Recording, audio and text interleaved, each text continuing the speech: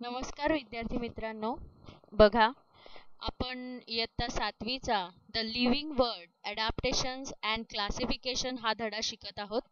या धड्यामध्ये आज आपण या व्हिडिओमधून पार्ट थ्री कडे वळत आहोत. चला तर मग आपण आपल्या पार्ट थ्रीला सुरुवात करूया. या धड्यामध्ये आपण आता शिकणार आहोत adaptations for injection of food in plants आता injection of food in plants म्हणजे काय? याचा अर्थ आधी आपण समजून घेऊया की प्लांट सुद्धा लिव्हिंग थिंग्स आहेत आणि ते सुद्धा अन्न ग्रहण करत असतात. इंजेशन ऑफ फूड म्हणजे काय? अन्न ग्रहण करण्यासाठी प्लांट्समध्ये काही अडॅप्टेशन्स झालेले असतात आणि ते अडॅप्टेशन्स आपण या धड्यामध्ये आता शिकणार आहोत.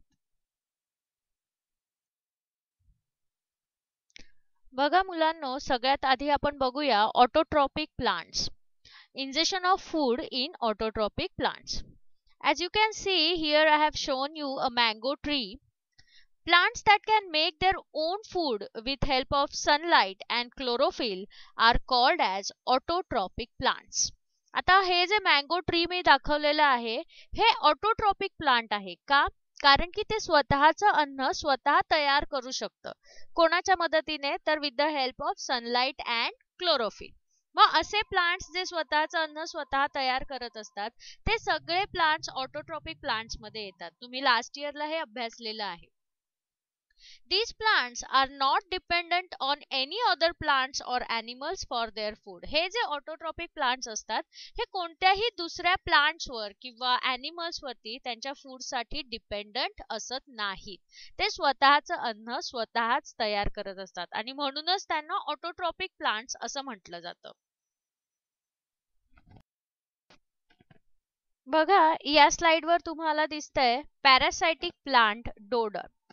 Parasitic plants म्हणजे काय हे आधी आपण समजून घेऊया. तुम्ही कुठल्या एका मोठ्या झाडावरती असे येल्लो कलरचे वायर लाईक स्ट्रक्चर बघितलेलं असेल हे येल्लो कलरचे जे स्ट्रक्चर असतं त्यालाच आपण डोडर प्लांट असं म्हणतो. डोडर हे काय आहे? तर एक प्रकारची ती वेल आहे जी एखाद्या वनस्पतीवरती उगवून आलेली असते. आणि याच आपण पॅरासायटिक प्लांटमध्ये यासाठी समावेश केलेला आहे. कारण की डोडर ही वनस्पती अशी आहे की जी स्वतःच अन्न स्वतः तयार करू शकत नाही. ती आपल्या अन्नासाठी दुसऱ्या वनस्पतींवर अवलंबून असते. Plants like dodder are parasitic the plant body of dodder consist of yellow wire like stem it is leafless and cannot perform photosynthesis dodder ही जी प्लांट आहे ती स्वतःचं फूड स्वतः तयार करू शकत नाही कारण तिच्याकडे क्लोरोफिल नाहीये because it is yellow in colour आणि दुसरं महत्वाचं रिझन की ते दुसऱ्या प्लांट्स वरती वाढून येत असतात आणि स्वतःचं अन्न ग्रहण करत असतात. आता इथे तुम्ही जर बघितलं तर प्रत्यक्षात कसं ते काम होतंय डोडरच्या प्लांटमध्ये? तर बघा However, it has historic roots for absorbing nutrients from the host plant. Host plant म्हणजे काय? ज्या प्लांट्स वरती ते उगवून आलेले आहेत. समजा एखाद्या आंब्याच्या झाडावरती डोडरची वेल उगवलेली आहे तर तिचा होस्ट प्लांट असतो ते मँगोचं झाड. These roots absorbs and uh, these roots penetrate up to the conducting vessels of the host plant to absorb the water and food आणि हे जे या तिसऱ्या डायग्राममध्ये तुम्हाला दिसतंय की याचे जे रूट्स असतात त्या डोडर प्लांटचे हे कंडक्टिंग वेसल्स कंडक्टिंग वेसल्स म्हणजे काय त्या झाडामध्ये जे काही फूड वाहून नेण्यापर्यंतच्या ज्या वाहिन्या असतात त्या झाडाच्या त्या वाहिन्यांपर्यंत त्याचे रूट्स जातात आणि त्या वाहिन्यांमधून फूड शोषून घेत असतात. म्हणजे डोडर सारखे जे प्लांट्स आहेत हे प्लांट्स असून सुद्धा they are dependent on other plants so such plants are called as parasitic plants parasitic plants म्हणजे काय? जे स्वतःच अन्न स्वतः तयार करू शकत नाहीत आणि जे इतर वनस्पतींवर स्वतःच्या अन्नासाठी अवलंबून असतात.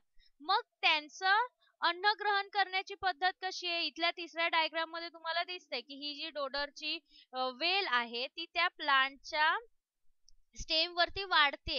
आणि ह्या ठिकाणी तिचे रूट्स जे आहेत ते त्या स्टेमला पेनिट्रेट करतायत छिद्र करून त्याच्या आतमध्ये जातायत आणि डायरेक्टली त्या प्लांटचं फूड शोषून घेतायत. मग हे अडॅप्टेशन त्या डोडर प्लांटमध्ये झालेलं आहे स्वतःचं फूड मिळवण्यासाठी.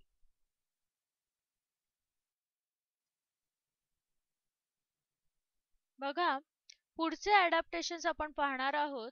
ते सुद्धा एक प्रकारचं पॅरासायटिक प्लांट आहे फंगस फंगस म्हणजेच काय? बुरशी. तुम्ही पावावर अशी बुरशी बघितली असेल जेव्हा दोन तीन दिवस तसाच राहतो पाव तर त्याच्यावर आपोआप ही बुरशी उगवून येत असते. त्यालाच आपण म्हणतो fungus fungi do not have chlorophyll and cannot perform photosynthesis. Fungus सुद्धा फोटोसिंथेसिसचं कार्य करू शकत नाहीत. So that they obtain food from starchy foodstuffs like bread. Bread वरती वगैरे उगवून येणारी ही वनस्पती आहे पण ही वनस्पती सुद्धा स्वतःचं अन्न स्वतः तयार नाही करू शकत. ती स्टार्ची फूड स्टफ वरती उगवून येणारी आहे आणि त्याच्यावरच ती जगत असते. त्यामुळे त्या प्रकारच्या वनस्पतीला सुद्धा आपण पॅरासायटिक प्लांट असंच म्हणतोय. They obtain food uh, from starchy foodstuff like bread they have root like fibers for absorption of food आता हा जो बाजूचा तुम्हाला फोटो दिसतोय या फोटोमध्ये या फंगसचं मायक्रोस्कोपिक स्ट्रक्चर कसं दिसतं? मायक्रोस्कोप मधून फंगसचा फोटो काढलेला आहे. आणि तुम्हाला दिसत असेल की वरती त्याला एक असं गोल आहे आणि खाली त्याला रूट लाईक फायबर्स आहेत. हे रूट जे आहेत ते त्या ब्रेडमध्ये शिरतात आतमध्ये आणि त्यांचं फूड ऍब्झॉर्ब करून घेण्याचं काम करत असतात. मग फंगस हे सुद्धा स्वतःच फूड स्वतः तयार करू शकत नाहीत. आणि ते दुसऱ्या फूड स्टफ वरती दुसऱ्या अन्न पदार्थांवरती अवलंबून आहेत. आणि त्यामुळे फंगसला सुद्धा पॅरासायटिक प्लांट असं म्हटलं जातं. बघा आता इथून पुढे आपण दुसऱ्या एक प्रकारचे प्लांट्स पाहणार आहोत. कार्निवरस प्लांट्स कार्निवरस प्लांट्स म्हणजे काय? तर मांसाहारी प्लांट्स आता प्लांट सुद्धा मांसाहारी कसे असू शकतात?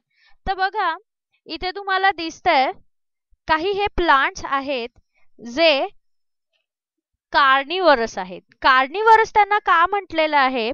तर हे प्लांट्स प्रत्यक्ष वेगवेगळे कीटक खात असतात. आणि त्यामुळे त्यांना कार्निवरस किंवा मांसाहारी प्लांट्स असं म्हटलेलं आहे. Plants need nitrogen phosphorus and potassium for growth प्लांट्सना स्वतःची वाढ करण्यासाठी नायट्रोजन फॉस्फरस आणि पोटॅशियम या या पदार्थांची आवश्यकता असते.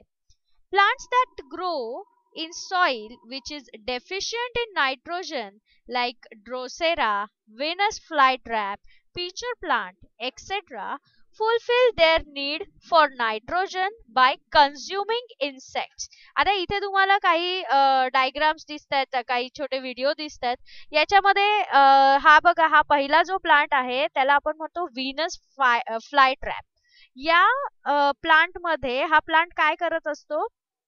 त्याच्यामध्ये एखादी इन्सेक्ट येऊन बसली की तो स्वतःची पानं क्लोज करून घेतो. आणि मग ती इन्सेक्ट आतमध्ये ट्रॅप होते आणि तो प्लांट त्या इन्सेक्टला डायजेस्ट करतो आणि स्वतःची नायट्रोजनची गरज भागवत असतो. आता दुसरं प्लांट जे दिसतंय तुम्हाला ते आहे ड्रोसेरा ड्रोसेरा मध्ये तुम्हाला हे ऍक्च्युली खूप अट्रॅक्टिव्ह असतात प्लांट्स दिसायला कारण की इन्सेक्ट त्यांच्याकडे अट्रॅक्ट व्हावेत यासाठी त्यांना अट्रॅक्टिव्ह बनवलेलं आहे नेचरने आणि जेव्हा इन्सेक्ट त्यांच्यावरती बसतात आता हा ड्रोसेराचा जर प्लांट तुम्ही पाहिला तर त्याच्यावरती असा चिकट पदार्थ आहे आणि जसं इन्सेक्ट त्याच्यात फसलंय ते ऑपोप टर्न होत आहे आणि त्या इन्सेक्टला स्वतःच्या जाळ्यात ओढून डायजेस्ट करते तिसरा प्रकार आहे हा पिचर प्लांट. ह्याचं नाव आहे पिचर प्लांट.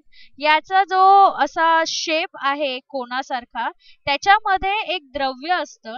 ज्या द्रव्यामध्ये कुठलाही कीटक पडला तर it is kind of acid acid सारखं द्रव्य असतं ते आणि त्याच्यात कुठलाही कीटक पडला तर तो डायजेस्ट होत असतो.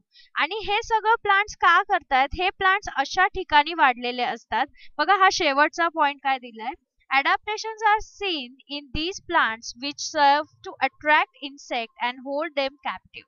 आणि हे adaptation जे आहे हे अडॅप्टेशन स्पेशली आपल्याला अशा प्लांट्समध्ये दिसतात की ज्या प्लांट्समध्ये नायट्रोजनची कमतरता आहे किंवा ज्या सॉइलमध्ये नायट्रोजनची कमतरता असते म्हणजे जसं आपण पहिल्या पॉइंटमध्ये बघितलं की plants need nitrogen phosphorus and potassium for growth but in places soil is deficient in nitrogen म्हणजे तिथली जी माती आहे त्या मातीमध्ये नायट्रोजनचं प्रमाण कमी असतं आणि अशा प्रकारच्या मातीमध्ये हे प्लांट्स उगवून येत असतात.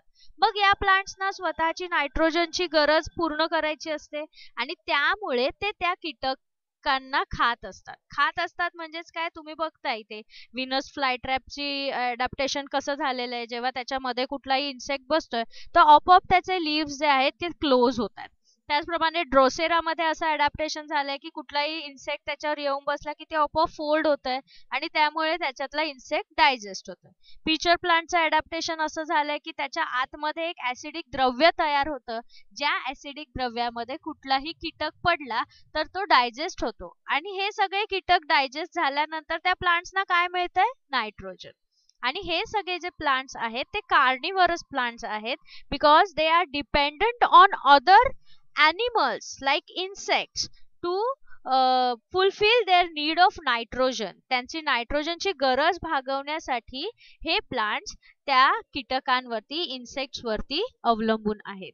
आणि हे जे कार्निवरस प्लांट्स आहेत त्यांच्यामध्ये अशा वेगवेगळ्या प्रकारचे अडॅप्टेशन झालेले आपल्याला दिसून येतात. स्पेशल अडॅप्टेशन आपण म्हणू शकतो की याच्यामध्ये ते खूप अट्रॅक्टिव्ह दिसतात किंवा त्यांच्या आता हा जो ड्रोसेरा प्लांट आहे त्याच्यावरती चिकट पदार्थ आहे ज्याच्यावरती एकदा इन्सेक्ट बसलं की तो उडून जाऊ शकत नाही.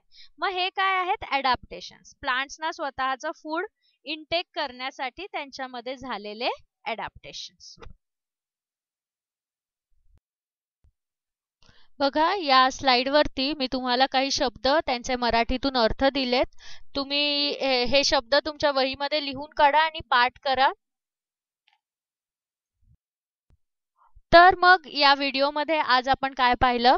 तर adaptation in plants for ingestion of food पहिला प्रकार बघितला आपण प्लांट्सचा ऑटोट्रॉपिक प्लांट्स जे स्वतःच फूड स्वतः तयार करतात आणि अन्न तयार करण्यासाठी त्यांच्या शरीरामध्ये क्लोरोफिल असतं ज्याच्या मदतीने ते स्वतःचं अन्न स्वतः तयार करत असतात. मग क्लोरोफिल असणं हे ऑटोट्रॉपिक प्लांट्स मधलं अडॅप्टेशन आहे. त्यानंतर पॅरासायटिक प्लांट्स पॅरासायटिक प्लांट्स म्हणजे असे प्लांट्स जे दुसऱ्या प्लांट्स वरती अवलंबून आहेत स्वतःची अन्नाची गरज भागवण्यासाठी. त्यामध्ये आपण बघितलं होतं डोडर डोडरचं एक्झाम्पल बघितलेलं. त्यानंतर तिसरा प्रकार आपण बघितला कार्निवरस प्लांट्स कार्निवरस प्लांट्स म्हणजे मांसाहारी प्लांट्स जे स्वतःची नायट्रोजनची गरज भागवण्यासाठी इतर वनस्पतींवरती अवलंबून असतात.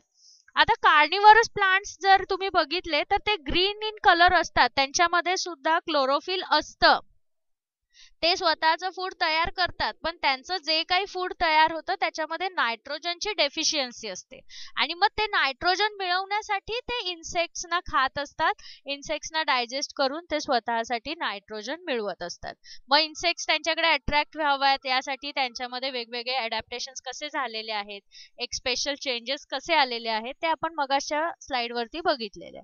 आतापर्यंत आपण जे सगळं बघितलं ते होतं अडॅप्टेशन इन प्लांट्स आता इथून पुढचा जो पार्ट फोर येईल या व्हिडिओचा या धड्याचा तो असेल अडॅप्टेशन इन अॅनिमल्स प्लांट्समध्ये जसे जगण्यासाठी वेगवेगळे अडॅप्टेशन झालेले आपल्याला दिसून येतात तसेच अॅनिमल्समध्ये सुद्धा अनेक अडॅप्टेशन असलेले आपल्याला दिसून येतात. तर पुढच्या व्हिडिओमध्ये आपण बघणार आहोत adaptation in animals okay bye